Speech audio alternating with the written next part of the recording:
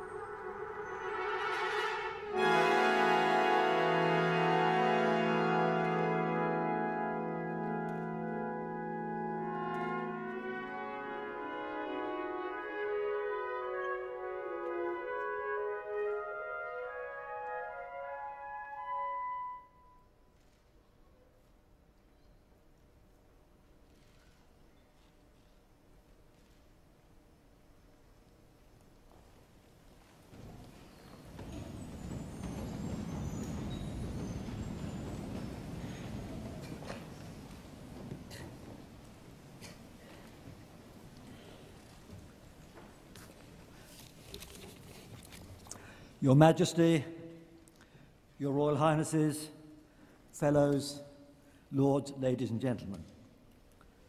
On behalf of the Royal Society, it's my privilege to welcome Your Majesty, our Royal Patron, His Royal Highness the Duke of Edinburgh, and their Royal Highnesses Prince William, the Princess Royal, and the Duke of Kent, our Royal Fellows, to this convocation of the Fellowship.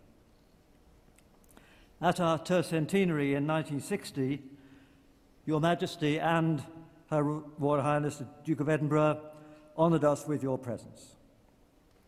That you are both with us again for our 350th anniversary together with other Royal Fellows makes this a very special occasion indeed. The Royal Society was founded in 1660 under the patronage of King Charles II. He presented the mace, which lies on the table here. The Society's full title, as given in its charter of 1662, is the Royal Society of London for Improving Natural Knowledge. The founder fellows chose as their motto Nullius in Verba, which translates roughly as don't accept authority on words alone. They were in revolt against medieval philosophy and were anxious to promote the new knowledge derived from observation and experiment. Our society is the oldest scientific academy in the Western world with a continuous existence. Its prime object is to promote excellent science. Its fellows come not just from the UK, but from the entire Commonwealth. And our network of contact is worldwide. But it has, over the centuries, taken on other roles as well. And the movie shown earlier gave some flavour of our activities. And it is to this society that we now take great pleasure in admitting His Royal Highness Prince William of Wales as a Royal Fellow. And I ask the Executive Secretary, Stephen Cox, to read the citation. Thank you, President. The citation reads His Royal Highness Prince William of Wales is elected a Royal Fellow of the Royal Society in recognition of his developing leadership role at national and international level, his active interest in science and technology, and his ability to stimulate interest in science and technology, particularly among young people. I should now like to invite His Royal Highness to sign the Charter Book and be formally admitted by the President.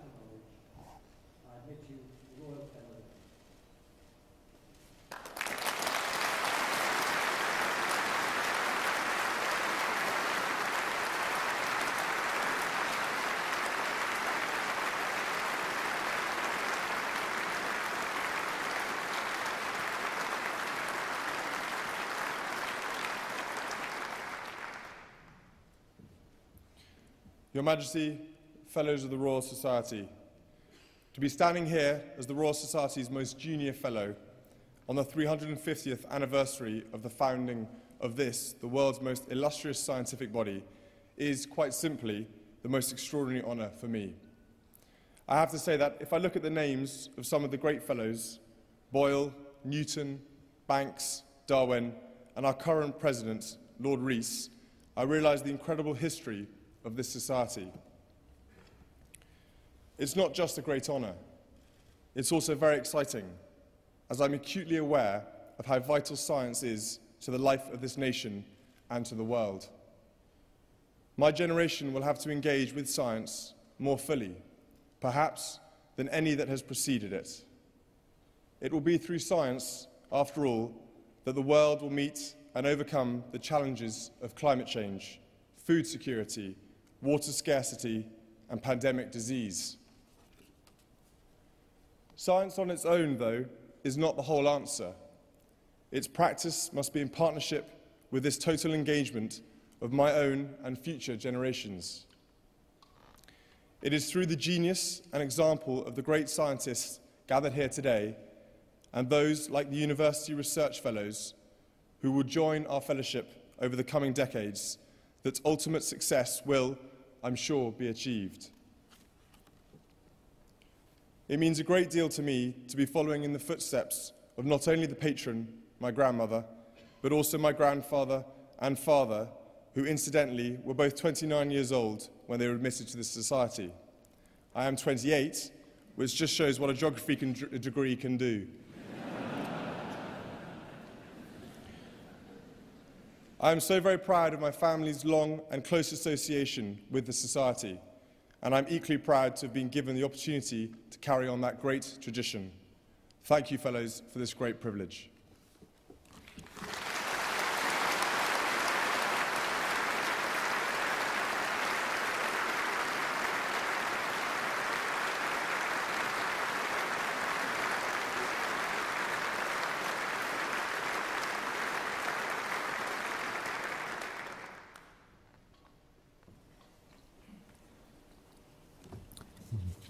Your Majesty, Your Royal Highnesses, fellows, lords, ladies and gentlemen. On behalf of us all, I thank Your Majesty for being here today and indeed for your supportive patronage of the Society throughout your reign. And let me also acclaim Prince William for his eloquent and thought-provoking speech. His Royal Highness the Duke of Edinburgh is our senior fellow he was elected in 1951, the same year when this building was completed. And his keen involvement ever since in science, engineering, and technology has been an immense encouragement and stimulus, both in this country and throughout the Commonwealth. Prince William's Royal Fellowship forges a link with a new generation. We wish him an equally close involvement and an equally long sustained one.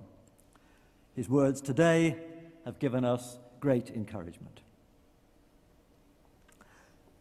As we've been reminded already, the Royal Society doesn't overindulge in ceremonials of this kind. It's only every 50 years or so that we gather under one roof so many of our fellows and others who share the Society's mission. We especially welcome those who've come great distances to be here, and we're touched by the many goodwill messages that we've received from around the world. There are some differences between today's programme and the 1960 convocation. Then the President, Sir Cyril Hinshelwood, spoke for a whole hour. And in this soundbite era, I promise to be much more succinct.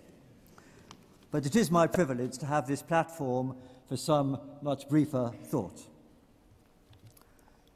At the Society's earliest meetings in the 1660s, Christopher Wren, Robert Hooke, Robert Boyle, Samuel Pepys, and other ingenious and curious gentlemen, as they described themselves, viewed experiments of all kinds, sometimes rather gruesome ones, blood transfusions, and the like. They peered through newly invented telescopes and microscopes. They heard travellers' tales and dissected weird animals. They were, in Francis Bacon's phrase, merchants of light, seeking knowledge for its own sake. Their curiosity seemed boundless. But for Bacon, discovery had a second motive what he called the relief of man's estate. And our founders were indeed immersed in the practical agenda of their era, improving navigation and the Navy, exploring the New World, and rebuilding London after the Great Fire. Hooke and Wren, of course, particularly. 350 years later, human horizons have hugely expanded no new continents remain to be discovered. Our Earth no longer offers an open frontier, but indeed seems constricted and crowded, a pale blue dot in the immense cosmos. And the Royal Society itself is a vastly different institution. It's not just a club, still less a gentleman's club but its essence actually hasn't changed. Today's fellows and all the young scientists we support have the same motivations as their forebears. They probe nature and nature's laws for their intrinsic value. But their engagement with society and with public affairs is still strong.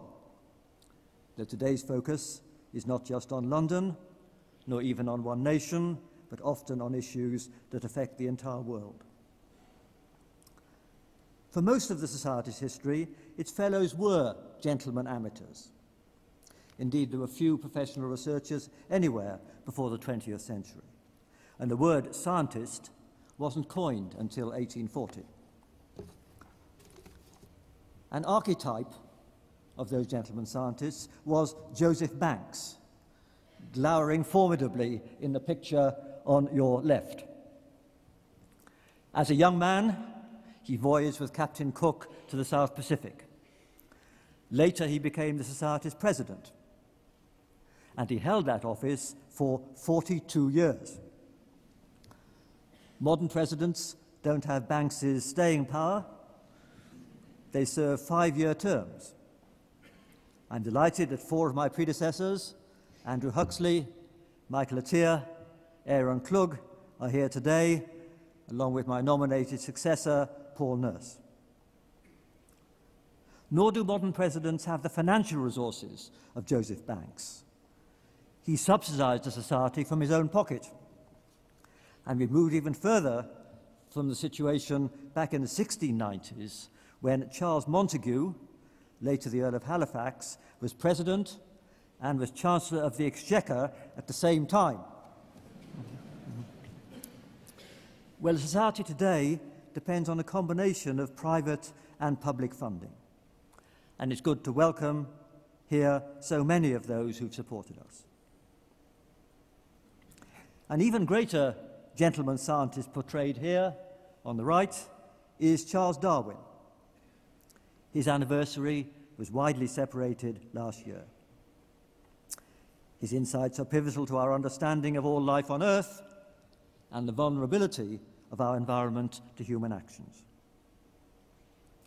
20th century scientists, our fellows prominent among them, have probed the complexities of living things and also the inanimate world, from atoms to stars. Collectively, they have much deepened our perspective on the world and our place in it. It's a cultural deprivation not to appreciate the panorama offered by modern cosmology and Darwinian evolution. The chain of emergent complexity leading from some still mysterious beginning to atoms, stars, and planets. And how on our planet life emerged and evolved into a biosphere containing creatures with brains able to ponder the wonder of it all.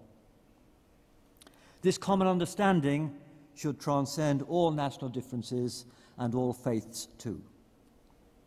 Science is indeed a global culture. But it's more than culture. A former president, George Porter, averred that there are two kinds of science applied and not yet applied. He was in effect echoing Francis Bacon's sentiment in different words. And of course, the applications stemming from the insights of Newton, Faraday, Maxwell, and Rutherford, and from others on the distinguished roll call of our fellowship, have transformed lives worldwide to an extent that our 17th century founders couldn't have conceived. Indeed, innovations happen with staggering speed. The World Wide Web is only 20 years old. We're proud to have its inventor, Tim Berners-Lee, as a fellow. Computers double their power every two years. Spin-offs from genetics could soon be as pervasive as those from the microchip have already been. The Royal Society embraces science in the broadest sense, to include technology and engineering. Its proud annals show the crucial importance of backing exceptional individuals in all those fields. And we must surely continue that tradition. I'd like to quote the words of another former president, Aaron Klug. I quote, The major insights in science come from people who have the patience to develop an, an intimate understanding of a problem, who have the space and the freedom to take professional risks, and who know how to make creative use of the surprises that they encounter when they do. These are the people whom we must nurture wherever we find them. We don't know what will be the 21st century counterparts of the electron, quantum theory, the double helix, and the computer, nor where the great innovators of the future will get their formative training and inspiration. But one thing seems clear this country's standing depends on sustaining our edge as discoverers and innovators, on ensuring that some of the key creative ideas of the coming decades germinate and even more are exploited here in the UK. Scientific knowledge is public knowledge, and it's international. Indeed, Asia's contribution is rising spectacularly and may in the next 50 years surpass the US and Europe. But science's benefits can only be captured by those who are educated and discerning enough. That's why it's in our national interest to maintain strong and broad expertise here. Our science is overall at least as strong as that of any